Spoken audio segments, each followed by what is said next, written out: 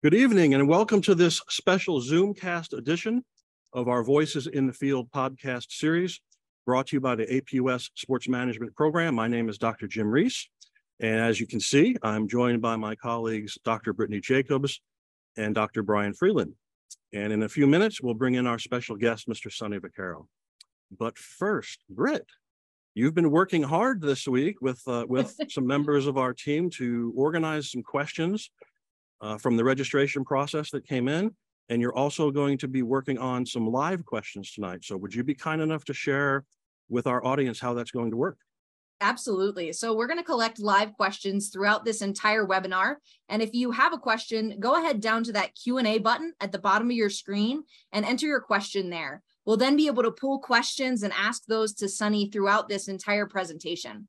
Now, we probably won't get to every question. So if your question isn't answered, don't feel bad um, but we will try to answer as many as we can throughout this presentation.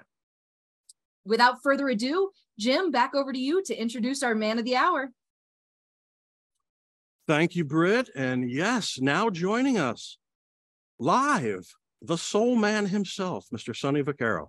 Oh, there he is. I'm okay. I'm, I'm live and in person from uh, Palm Springs, California, and uh, I'm so happy. I'm looking forward to this day for a while. In fact, a couple of years, Jim. It's, it's been a while, we, Sonny. We got it together, and I'm anxiously ready to answer any questions that anybody has on their mind, or even if it's not on their mind, they can make it up, and I'll probably give them an answer. I have no doubt. So, um, now in a few minutes, I'm just going to share a little bit of your uh, some of your accomplishments over the course of your career. But would you like to just introduce yourself briefly to to our audience? Yeah, my name's Sonny Vaccaro. I don't take no for an answer.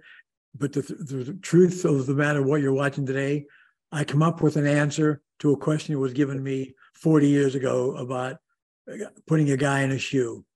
That's that's what I'm going to tell them. I answered the question, I guess. Well, that sounds great. We're we're all looking forward to that. So now, just to to touch, and this is just a few things that we're going to talk. We just don't have time to include them all, but a few things to, that you've done over the course of your career.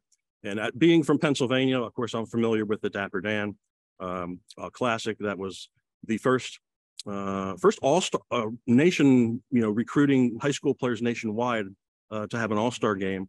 Um, and it was also the first time coaches were able to recruit and, and, evaluate talent at one location instead of traveling all around the country. So, um, and you almost got Kareem I, I, heard. So that's uh that would have been really special if he would have got Kareem. And that was the one I wanted the first yeah. year. was the first turn down I got, and I got some others later on in my life. But uh, but the game went on, and we sold out the thing in 1965, and it was the first All Star game in America. There's no question about that. And it has grown to many events, including the McDonald's, uh, you know, All American uh, right. game as well. So, you were also the first person to sign coaches to shoe contracts, yeah. which brilliant, ensured that uh, the teams would be wearing your brand. Uh, at the time, they were Nikes, so that was another major accomplishment. So all we had to do was pay them, uh, yeah. so, the kid, so the kids could I, ideally wear the shoes. So we then we can sell them because it wasn't we were paying the coaches for them to wear the shoe to sell those shoes. I was I figured out well they'll make the kids wear the shoes. The kids will see the shoes. Nike was pretty successful doing that way ahead of their time. I, I think it worked out pretty well. So yeah, I did. Um, I do. And, and of course, we know about the Michael Jordan sighting because of the because of the movie and all. These are these are in addition to that. Um, you also found another pretty good high school player named uh, Kobe Bryant, and you were able to, uh, which is a whole separate movie by itself. There, uh, by the way, but um, and uh, I, I, believe you knew his dad, Jelly Bean. Is that correct? And that's how uh, that happened. Yes, not, not only did I know him, his father was the MVP in the 1972 Dapper Dan Roundball Classic, and his mother's brother, Chubby Cox, played in the 1973. So I sort of knew, got to meet Kobe before he was born because mm. I had the bloodlines there yeah. playing in that All Star game. So, yes. Yeah.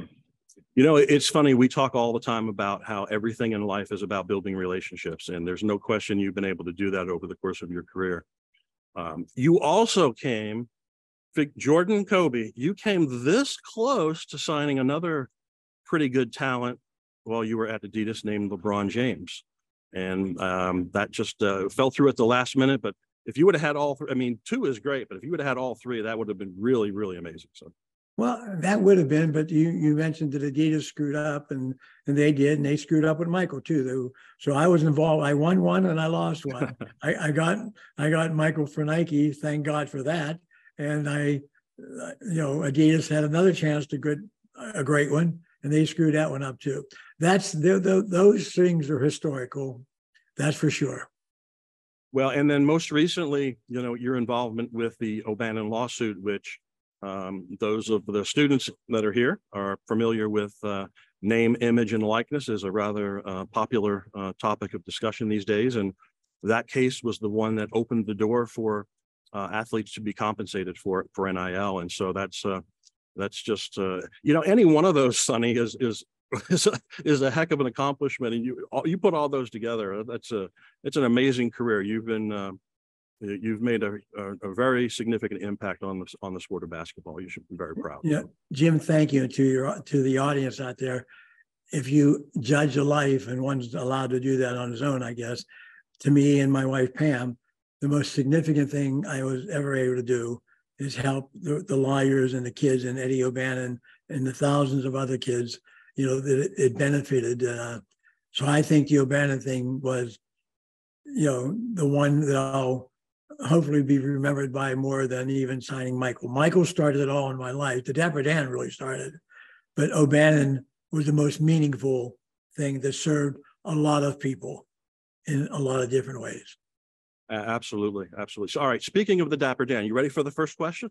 Absolutely. Okay. Now, th- this was what this was mine, and that I've been wanting to ask this for a long time. So, uh, back to the Dapper Dan. When when I mean, that was that was groundbreaking. What were you thinking? What was the genesis of of putting that together? What was your vision for that? And how did that thing whole get that whole thing get started? You know, one minute or less. I basketball was not a sport that I played well in high school. I had nothing to do with I had nothing to do with basketball my whole life, other than when I couldn't play football anymore, I helped the coach at Youngstown recruit some players because he liked my energy. But to get to your point, I thought in my mind that the most uh, once I, you know, got graduated from college, I, was, I wasn't at the anymore. I had an idea that I saw so many great athletes, basketball players, because there was, I was now coaching at Trafford High School, and they were getting ignored by getting scholarships and by getting recognized because Pennsylvania, among uh, most of the states, was known for the football players. But we had some great athletes. So I went to a friend of mine named Pat DiCesare, who I had grown up with, who had a background of working uh, promotions in music. And I went to him with an idea. I said, I'll tell you what, I have an idea. I think we have enough kids in this state to show the world that we can play basketball along with football and baseball was basically a, a second choice of people in the, in the early 50s and 60s in Pennsylvania. And we did the Dapper Dan game before anyone thought of it. Pennsylvania kids against the rest of the world. So I had 10 from Pennsylvania and 10 from America that I did not know, I did not see. I used to read the books about them. So, Jim, that was an idea too that just you know, morphed into being 13 years ahead of the, the McDonald's game, which Cantari's. Pam and I left everything we started um, to pursue the O'Bannon case in uh, in 2007, 8. And I shut down everything we did. We did the camp, the ABCD camp, the Dapper Dan game, and the big time tournament. And and we we we looked for a plaintiff. We found Eddie, you know, O'Bannon. The timing was right for that with what happened yes. uh, with uh, you know uh, Ed just happening to talking to a friend about a video game, and it, it kind of yeah. went from there. So, so hey, how about we do how about we do a, a question from one of our students? Uh, let's bring Britt back in. And uh, Britt, what do you have for us? All right. Hi, Sonny. We've got a question from our audience. This one comes from Annalise Lido. She says, Sonny, how did you manage to stay resilient when you were surrounded by no's and constant negativity? You know what? And that's that's so not, I never had that. You got me for one second. You don't pay attention to it. If you believe in yourself and you believe in whatever it is you're trying to accomplish, that can't stop you. you. can only be stopped by not being able to do the job. And when someone tells you you can't do it without knowing who in the hell you are and what your idea was and why you believe you can do it.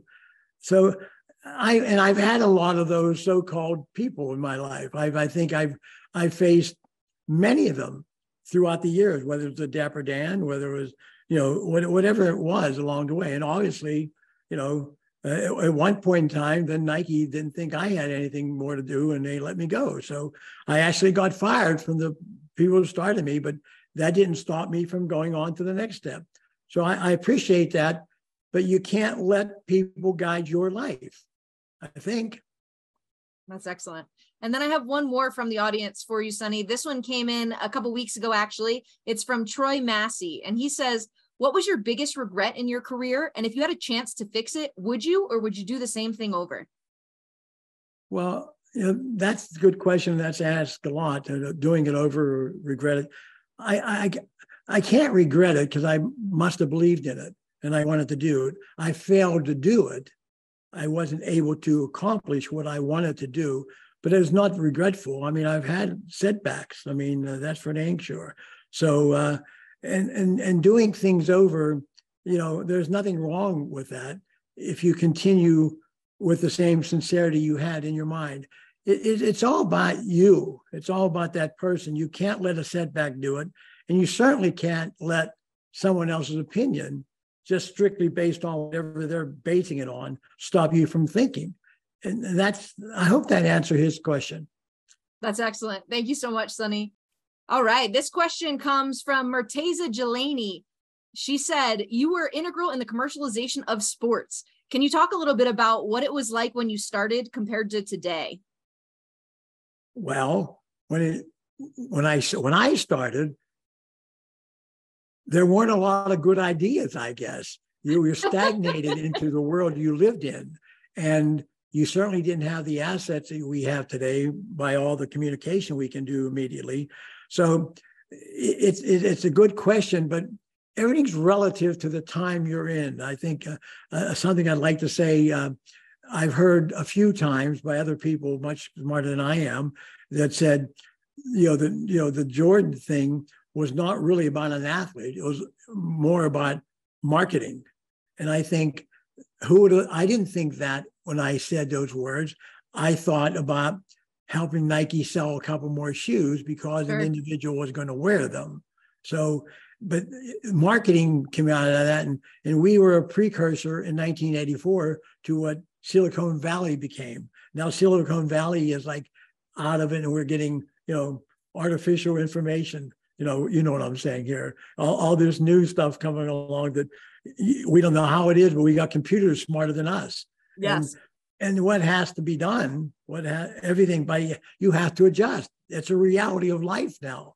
So when I started before me, I mean, uh, look at Barbie doll. I mean, my God, Barbie and Ken. Who would have thunk, right? You know, but it was an idea, and it lasted through a whole you know generations of children to grow up to adults and and we're watching we're watching something now that was actually i don't know i don't know what it was because i mean barbie and i'm using that to give an analysis to the, the people watching this that something may seem ridiculous or silly but it isn't because there's an audience for everyone and it's a new thing that brings in the new invention the new thought the new movement.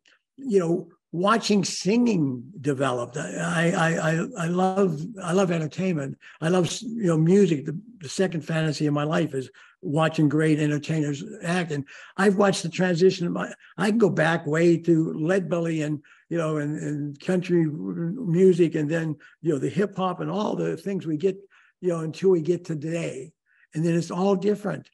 The same people, the same types. I mean, we just lost you know, some of your audiences are going to know who Tony Bennett was, but sure. he lasted 60 years and 70 years of his music and it'll continue. So we, you have to adjust out there now, audience. You have to think of something that's relative to not only today, what the hell can be good tomorrow? That's what it is.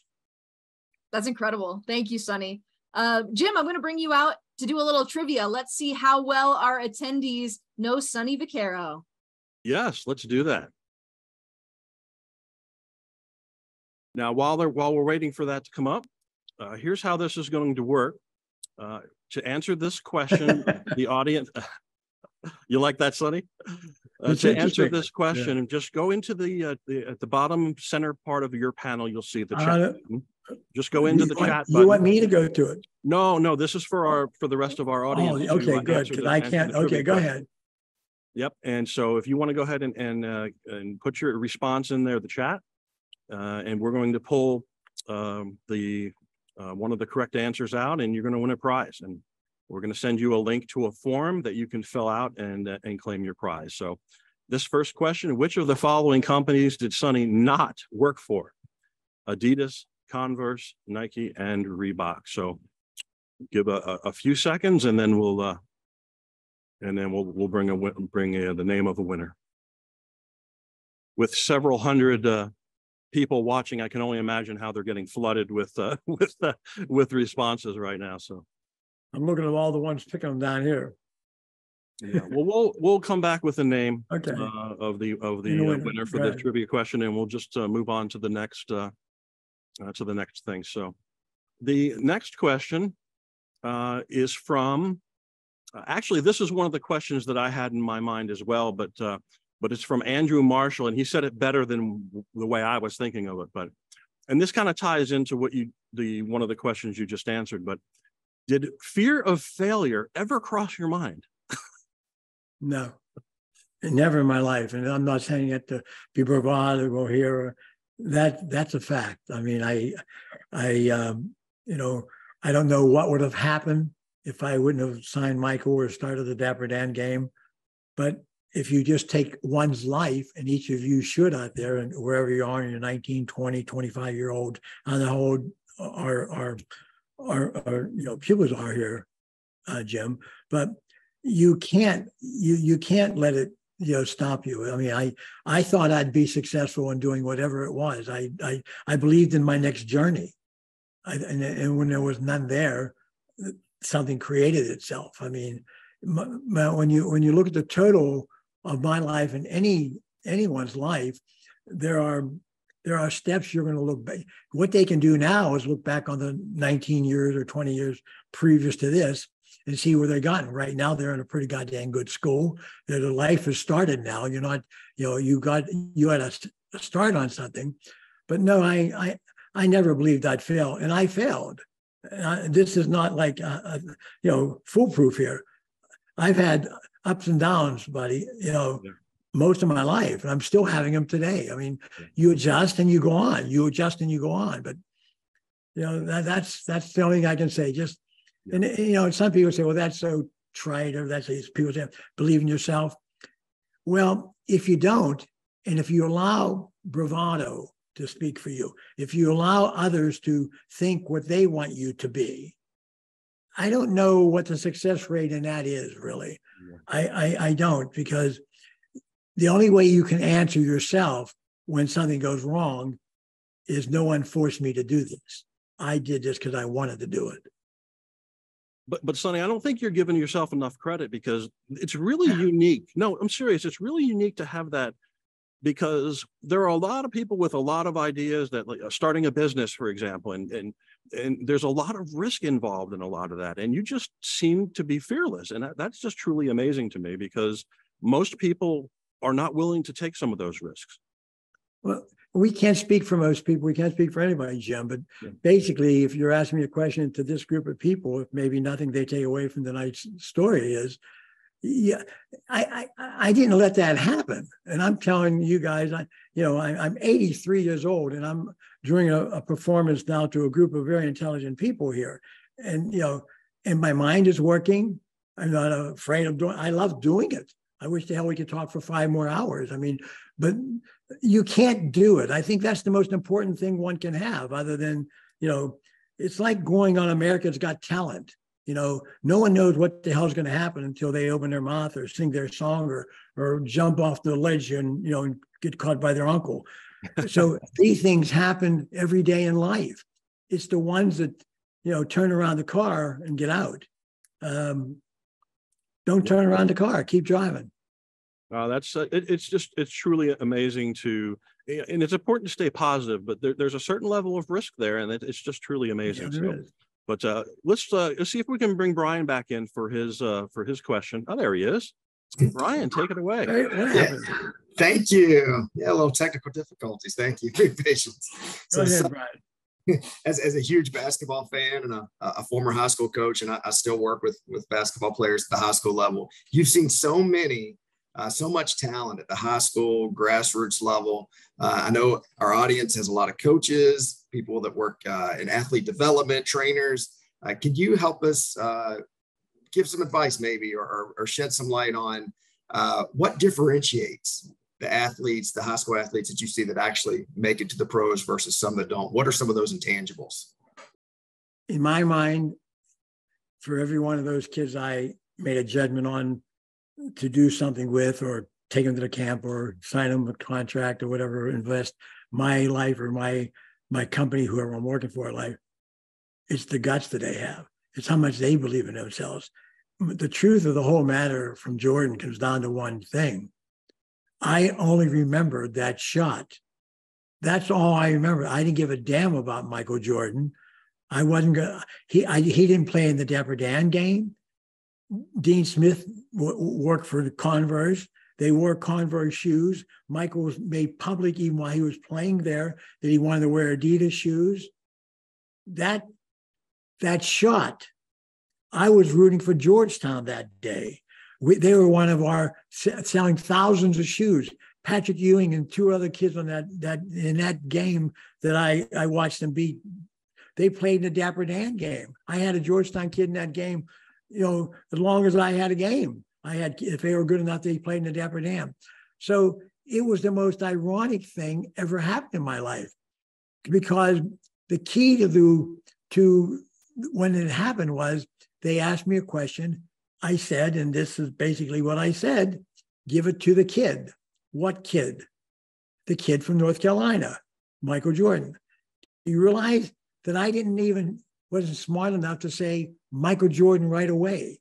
I always and I still think of Michael as that 18 year old kid when they watched that video and that movie. I didn't rely on that movie. I didn't see that movie when I said those words, did I, ladies and gentlemen? No, I couldn't have because that wasn't out there. I only saw the game. I saw 18 seconds and he took the shot. And then the movie, when Matt goes through and explains it, you know, just you know, for the 18 seconds is brilliant. But I'm saying to you, it's the guts, the the will to win. There's always something. Kobe Bryant said, most of them I can remember what the first thing was that I knew they were different. If you read anything about, you know, um, you know, Kobe and, and LeBron and whatever and Tracy, they they just didn't get as much. But I knew that I liked them before I even thought I kn- had to know why I liked them. They made an impression on me. They they did. So I hope that answers your question. It's not something that I can relay and tell these people to look for. I thought having the, the guts to take the shot or the sense to make the pass or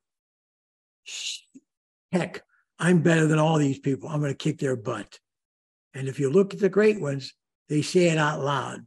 I've been watching a thing on Wilt Chamberlain, which your, your audience probably doesn't even remember. When you look at somebody, I don't know who in the world could have ever been a greater basketball player than Wilt Chamberlain. So I don't get caught up in goats because I think basketball players specifically, they go by the generation they play in because that game has changed more than any other game, Brian. So these kids are different. So one thing I'd like to say, you know, and Brian, do you have another one real quick? And I'll, I'll say it when you're done. No, this is perfect. Thank you. Okay. The one, the one kid, and there's a there's a video on him named Benji, Ben Wilson. He's he's one kid that I never got to see play a college game or a high school game or whatever because I saw him at the ABCD camp when I first took it over in 1984, and he got he was the number one player come out of nowhere. And the first camp, ABCD camp that I was involved with, I only saw him that couple days, didn't know who in the hell he was. He was from Chicago. I wasn't as deep into it. It was my first year. We were just sponsoring at that time, Nike was. And I fell in love with him. And then I fell in love with him. And I was picking him to play for, I wanted him to play in the Dapper Dan because then we had other All Star games. And I was staying in touch. And I used to call him on a payphone because there was no cell phones in 1980, you know, whenever heck that was. And um, and he got murdered. And the story Benji is the saddest story in my life because he never had an opportunity even to get beyond the high school phase. I never got to know him. I only knew what I watched, I fell in love with, and I was sad that it happened. Obviously, I was sad that anything bad happened, Brian. You you would for any athlete. So Benji's the kid I wish I could have watched grow, because at that time, in my mind, that was before Michael. That was he was the kid. He was the kid that had everything, and ended up murdered. Go ahead, take me to another one. That's perfect. I really appreciate your response. I'm going to hand it over to Jim. Thank you, Brian. And let's go back to Britt for, for a question uh, from one of our students. Britt, would you uh, share another one with us, please? Sure would. Before we do that, I want to call out our winner of the first trivia question, Philip Gaddy. Congratulations. Um, you're going to be getting some AMU or APU swag. So you're going to receive a direct message. So make sure you look out for that and then fill out the link so that we can get that swag to you. All right, Sonny, next question we have for you. Um, this is coming from one of our live audience members right now. They say, It's with great admiration that they address you today. The inspiration that you have provided throughout the years has been invaluable, and they're grateful for the opportunity to hear you speak. As they embark on their career in marketing, they'd be immensely grateful for any advice or thoughts on contacts as to how to get into the field. Your wealth of experience as an accomplished entrepreneur is invaluable, and they want to learn from your expertise. Well, I would say to the person who asked me that question, I don't know what field you're in, so I'll just assume we just you have an idea what you're going to be, what you're majoring in, all that sort of stuff. At this age, and I don't know exactly what age you know some of these are, I would make friends with like-minded people. Then I would then I because I've done this, then I would make friends with people that have done well that have nothing to do with anything I understand or understood to learn why they had this idea. Where did this come from? See, I think ideas are the life, the lifeline of anyone that wants to succeed in doing anything in a field that that's what's created, whether you're going to be a designer, how do you do that? Which one is more ridiculous than the other one? But man, is that something. Because that's, as I watched all these years, young lady, I, I watched, that's what was important to me. I, I paid attention to it. I have a lot of friends that I have nothing in common with along the way. And this to me helped me become more well-rounded, not as smart in what they were doing, but trying to understand what the hell made you think of that? What a good idea. because that's basically what people are asking me today. What made you think of that? And I sort of, you know, told, you know, Brian, that's Michael was just visually watching that. I was there in person 18 seconds. It's something you don't know that'll help you learn more. And then once you got it once you got faith in yourself, take it to the limit. Take it to the limit. Go for it. You get no's. Hell, I've had 10,000 no's. You know, that's what you do. No is the most popular word in American language. No one wants to admit it. No, no, no. Don't do this. Don't do that. No, no, no. But then somebody's going to say, you know what? Yeah, that's a pretty good story. That's a pretty good movie. That's a pretty good song. You know how many songs that are written every day? You know how many, you know, shows we have, you know, go to the movies every year? Thousands, thousands. But then somebody writes the right words. Somebody sings the right tune. somebody does the great poetry, and somebody will think of something to take the Silicon Valley or go beat that thing that has that answer to everything. I I don't know what to call that thing, but you know, the intelligent guy. I don't know if I can compete. I don't know if I can compete against him, her, or it. right, exactly. Go ahead. No, that's amazing. Um, we have one more question from the audience that just came in. This one is from Vaughn Breet. It says, in the famous speech in Air movie that you made about MJ, how much of that was fiction, or did it really go down the way that the movie portrayed it? No, that it's not totally fiction because I did speak, but I did, and I spoke in those words many times to many kids and many groups of people, especially kids. You know, they were the encouraging words. Th- those words that day we did all talk.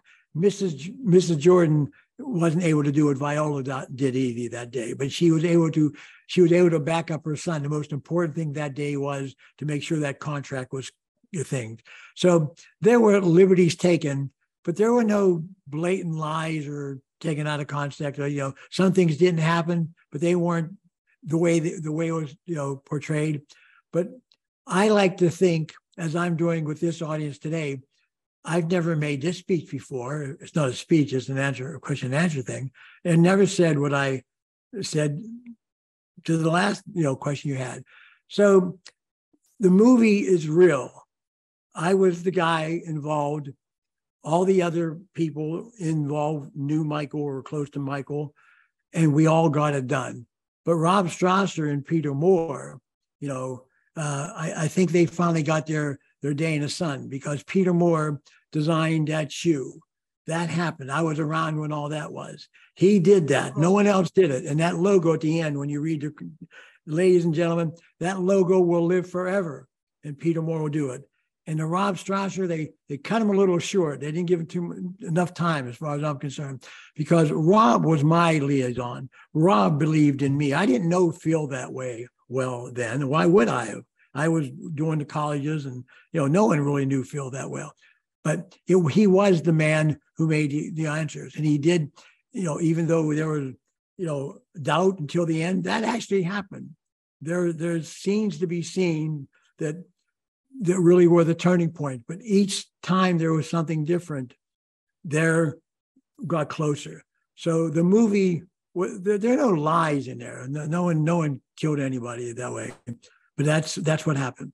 But I do love to make speeches, and I I guess I'm pretty good at it. I just think just come out of my mouth. I don't know what the hell I'm saying sometimes, but I but I mean what I'm saying though. I love it, Sonny. I'm going to turn it over to Jim.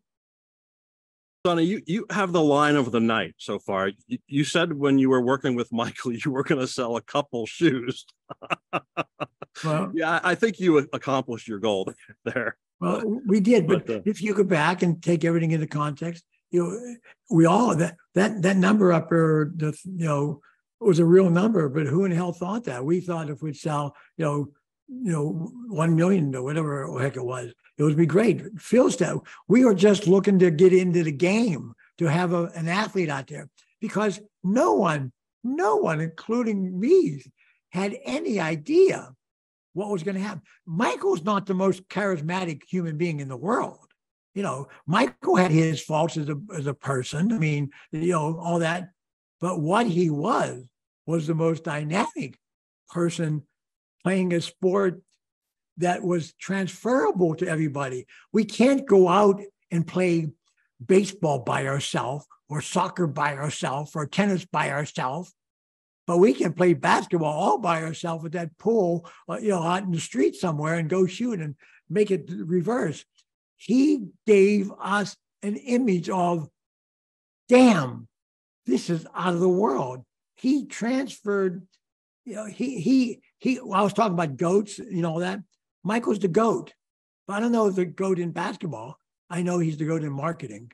No one will ever be able to do again what the Jordan shoe did. They'll be selling that shoe when all of us are gone and the remains are wherever heck they are. But that shoe will live till there ain't no more us's. No, oh, no question about it. No question about it. You know, Sonny, you you said you touched on another area that as as teachers, that we talk about all the time. And, and we, we, we tell our students this over and over because our business is, is, is, it's a really small circle if you think about it. And if you don't, you know, if you don't know someone somewhere, you know someone that knows someone there. And you touched on on networking again a little bit earlier and building, you know, meeting people, getting to know people, getting your name out there, exchanging business cards. That that's that's one of the keys to because our field is so hard to get into. So mm-hmm. it's it's great. I mean, you're saying a lot of great things tonight, but the fact that you keep touching on market or on on networking is uh, is great because we talk about that in class all the time. So, so well, I'm glad because I think that's the only reason I survived. I mean, um, you know, you know, real quick, another story for your audience is I analyzed my wife. Uh, my wife. I I don't analyze Pam. I'm you know I'm even enamored by my wife. Okay, but my my I analyze my life as the old days, we used to hitchhike. And I used to hitchhike as a kid to get from this town to that town because I didn't have a car and all that. So in my life, I finally owned a car.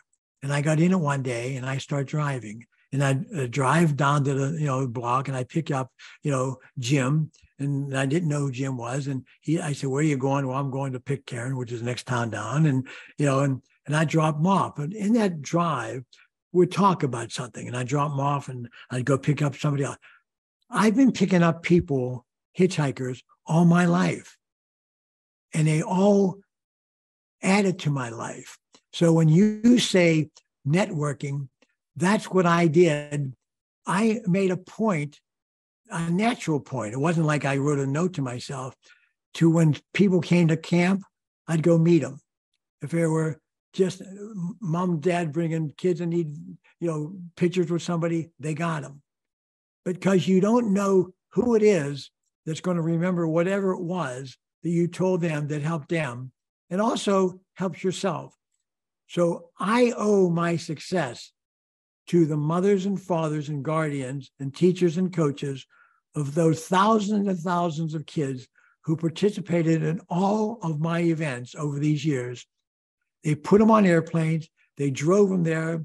They took buses to come to these, and he trusted a stranger. I didn't know any of them. So I owe my life, of this particular world I've lived in, to someone that didn't know me. I feel that's what that's what networking does. They introduce me, they introduce me, they introduce me. And pretty soon you have a whole thing of introduces. Sometimes it doesn't work out. But you know what? Even if it doesn't, it was meaningful to you at that time. Oh, that that's a really powerful message. I, I appreciate you sharing that story. That's um, it's it's it's great words of wisdom. So, uh, let's see if we can go and uh, do another, uh, give some more, give a few more prizes away here. Let's go to another trivia question if we can. There we go. And again, you can just go into the uh, into the chat box to uh, provide the answers here but uh, to, to uh, answer the trivia question. So which of the following does Sonny consider his proudest moment? Signing Michael Jordan, signing Kobe Bryant. Uh, well, we couldn't, uh, you didn't yeah, sign LeBron James, so that one, that one's out, right? Uh, right. or the O'Bannon case. That should have, should have said almost signing LeBron James. Right. Almost, almost signing a lot of people. Yeah. That, that's the, you know, the interesting thing, Jim, that almost never wins though, does he? Michael Jordan has a great commercial. It talks about all the the number of times he's failed taking the last shot.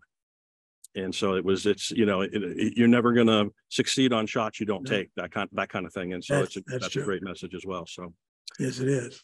Britt, do we have, and while we're waiting for that, uh, the winner to come in, Britt, do we have any, any questions left, uh, live ones from? I've got both a winner and I've got some questions. Oh, well, take it away. All right, James Boyce, congratulations for winning our trivia. Um, you will receive a note, a little link. Make sure you fill out that link so you can get your swag. All right, Sonny, we got another question from the audience for you. This one comes from Kaylin Holdaway, and it says, What inspired you to pioneer the concept of endorsement deals with athletes? Well, you I, I, don't know how I, what inspired me. Again it was an idea that I they asked me to do a question and they or uh, answer a question. And they said we need somebody to you know sell this shoe and we're going to go to a pro as opposed to all the colleges we had had. So then my my thing was the kid so but i always knew i i, I believe i always knew that the the entertainer i'll put athletes because I, I just think that world's sure. so so amazing all entertainers who impose their skills on millions and millions of people over the years, whether they're singing a song, doing an act. See, that that's what always intrigued me. We have we have this other movie, Oppenheimer, do one of the you know one way or another, you know, something good or something bad. We have geniuses, geniuses who have done things, you know, to create things, right?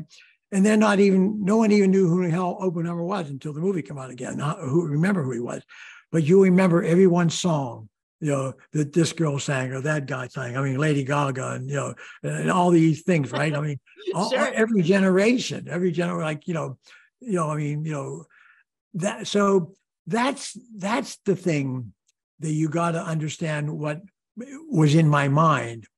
What lasts? What carries on to the next generation? What do you go home talking to your neighbor about? You don't go talking to your neighbor about, you know, you know, we had we sold 20 boxes of you know whatever hell we sold a day. That we don't do that. You know, all these big companies, we don't go and talk about the big company. We know that we they buy their product. We go home talking about, you know, Bruce Springsteen. You know, sure. that that's true. Uh, the big uh, names, the people that excite us. Yeah. Yeah. Well, that but that's what happens. I mean, uh, you know, Beyonce is beyond beyond comprehension anymore. I mean, but there'll be somebody else next week, next year, next month. That's that entertainment that you do for an audience never ever leaves us. I don't know if even that answered your question. I got I get carried away. Sometimes. I love it. No, that's excellent. Thank you so much. And we have one more, um, Jim. One more from the audience if we've got time. I'm sorry. Yes, feel, feel free to go right ahead. All right, excellent. Uh, so, Sonny, this question came from an anonymous user, so I don't actually know who they are. Um, but they said, Do you think that the commercialization of youth sport has changed the pipeline of talent? Um, has it excluded young people with less means from that talent identification process? And if so, do you think there's any solutions? I don't. There's so many questions in one question. I mean, let's let's start. I'll start again. Let me give you the first one. Go. All right do you think the commercialization of youth sport has changed the pipeline of talent? Well, sure. The commercialization has because with commercialization, you get publicity. Publicity is what changes everything. We now know these kids can play. Before they were playing in the, their backyards, and I think that was even going back to the Dapper Dan. I mean, so I'll I'll just put that together and say one served the other one well. Interesting. All right. And then they asked, so has that commercialization excluded young people with less means um, from having their talent identified? No, because there are so many opportunities now than there weren't 50, 60 years ago. On on his street corner, there's a there's a team, there's a group somewhere in that city. They can go. What they got to do is be aggressive and find a place to go to find. It's their it's their they got to make the move. Mom and dad do. And if mom and dad's too busy to do it, and some kids don't have two parents, whatever that is, that cannot stop you from finding the game. Go find a game. You'll find out how quick you are.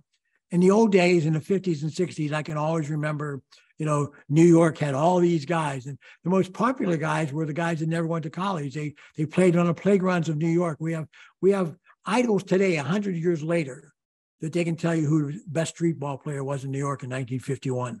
I mean, wow. but that's what happens. Go find a game. And then you know what? People will find you. I love that. Thank you, Sonny. Over to you, Jim. Thank you, Britt. And that takes us to the last question of the night, Sonny. We're, we're right on schedule here. Thank you. And this question is from, I want to make sure I get this uh, student, uh, it's from Colleen Worthington and she asks, what advice can you share with aspiring young leaders within today's sports management and marketing landscape?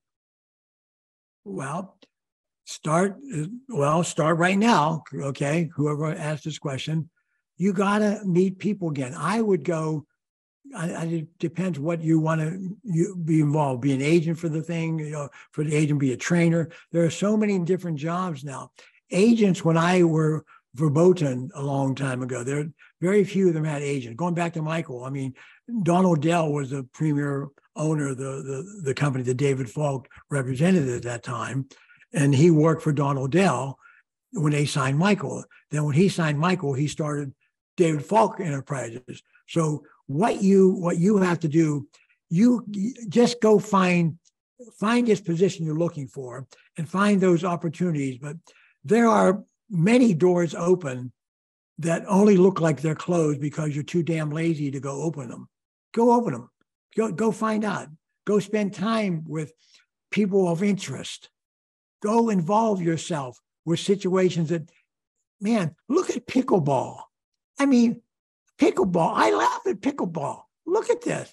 I mean, there's an audience for pickleball. There's a certain age group that loves it. To me, you know, this purest guy I remember, uh, you know, telling my wife and my brother-in-law and all that stuff, pickleball, pickleball. Thousands, millions of people. They made a business out of pickleball, which is great. Maybe that's that's the answer I'm trying to tell this person here. There is something that no one thought of that you might think is stupid, it's that idea in your mind. Put it to use, Jim. Tell them just put it to go tell you what can they do? Say no. Go get another one. That's all. Uh, that that's that's a great message. Yeah, I, I saw I saw a match between uh, McEnroe and Chang played Agassi and Roddick. Well, And at the end of the match, Agassi said, "I used to make fun of pickleball, and now I'm addicted to it." And so it's interesting. it's really something. It's really It's something. so It is. fun. I'm a big fan. Well, Uh, Jim, can we do our last trivia question real quick? oh, sure, sure, absolutely. Awesome. Okay, so again, folks, this is the, uh, uh, you put your answers, uh, down in the chat. I'm sorry, I thought we had, uh, had, uh, asked all three, but we obviously didn't, so. Um, so the, this last question, what is the name of, the see if anybody who was paying attention tonight. Uh, what is the name of the high school all-star basketball event Sonny co-founded in Pittsburgh in nineteen sixty-five? McDonald's All-American Game, the Show All-Star Game, the Dapper Dan Roundball Classic, or the All-American Showcase? All right, I'm back with our winner, Bobby right. Perez. Bobby Perez, congratulations. Um, make sure you take a look for your direct messages. You will see a link there. Fill out that link so that you can make sure to get your swag. All right, back to you, Jim. Thank you, Britt. Sonny, it has been a huge pleasure for all of us. We're, thank you for making time uh, out of your busy schedule for us tonight. We really, and we'd love to have you back uh, in, in the future. I'm sure we got some more questions, probably dozens of questions that didn't get asked. So maybe we can, maybe we can do a follow-up one uh, uh, at some point. So, all you have to do is call Pam and Pam will figure it out. yeah, I, I think I've got, I think I've got the uh, cell phones on speed dial at this point, but, uh, Okay. but, uh, But, but it, this has been very good to me, and I hope all the the people watching it, the young people watching it, uh, got something from it. Um, I, I think you know, leaving you know for right now on this particular show with this group of people, just you're going to school, someone's paying your way, you whatever it is, you got a whole God willingly a whole lifetime ahead of you. Go forward, just keep going forward, and you know what? however it turns out, if you're happy with your life, it's successful. You don't have to be Kobe or Michael or LeBron or all the entertainers of the world. Be who you are. Let your let your mind guide you. Let your conscience be your your best thing. If you believe in it, go for it. And and and have a happy life.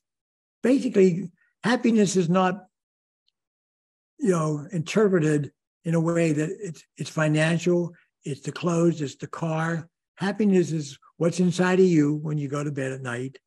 The family you're around, however uh, many or none, whoever you're with at this particular time in your life and going down, and it's all over.